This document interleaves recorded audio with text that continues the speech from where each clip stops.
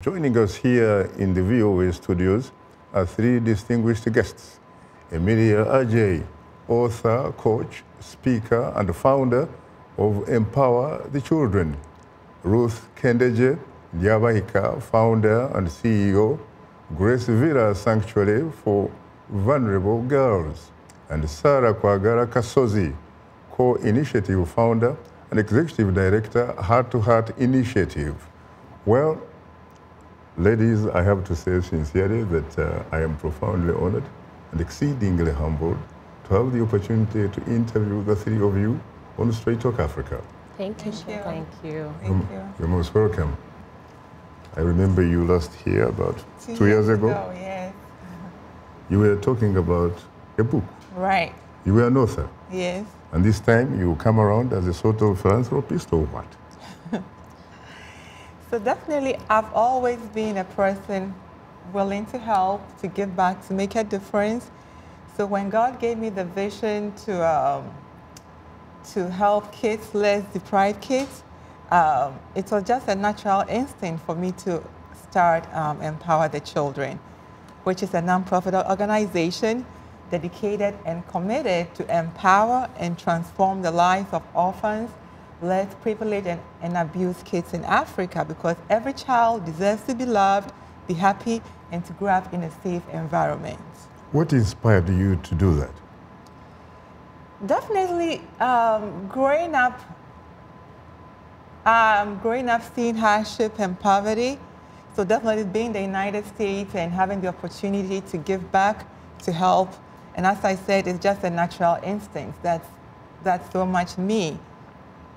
It's very interesting that uh, before the show, we had a chat, and um, I told you about my, uh, I call it a pilgrimage mm. to Nkroful, mm -hmm. the birthplace of perhaps Africa's most uh, celebrated son, son of the soil, the Osagyefo, right. Dr. Kwame Nkrumah. I went with his daughter. We drove from Accra to Nkroful. We spent uh, a night at Takoradi and I looked at the conditions this man came from. I could not believe that a kid from Nkroful would end up becoming the visionary of the black race of yeah. the continent.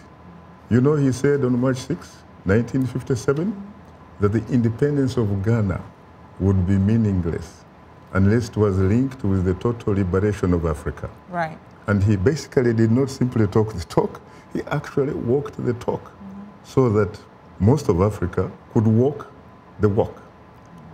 Did that in any way inspire you at all? Because I realized that uh, your center, in fact, is based in Kenya, not Ghana.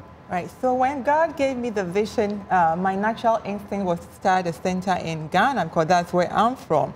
But I know God has a way of getting us out of our comfort zone and stretching us and making sure that you are really dedicated and committed to the assignment. So um, he divinely connected me to a lady, passionate lady called Frida Ronje. She had a center in Kenya that she'd been running for five years, and it was on the verge of closing down because she couldn't manage it.